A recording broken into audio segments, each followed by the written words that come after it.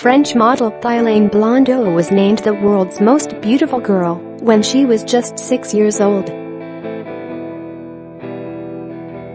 And just over a decade later, at 17, she has started her own fashion line called Heaven May.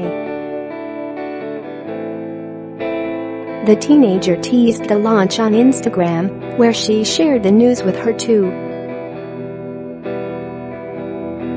4 million fans. She said, after working more than one year for you guys, Heaven May Clothing, my brand, is coming out really soon I can't wait for you guys to see all the collection I made highly and thank you for your support.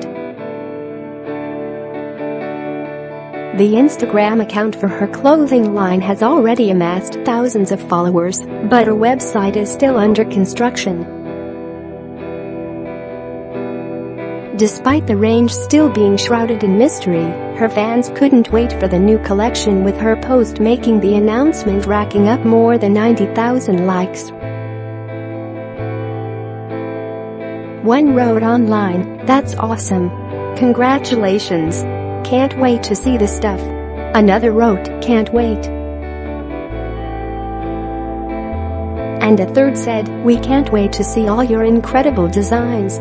Despite being only 17, Blondeau is a veteran of the fashion industry. The daughter of professional soccer player Patrick Blondeau and fashion designer Veronika Loubry, she was crowned the most beautiful girl in the world by Vogue Enfants when she was six years old. She also made history by being the youngest ever model to pose for French Vogue.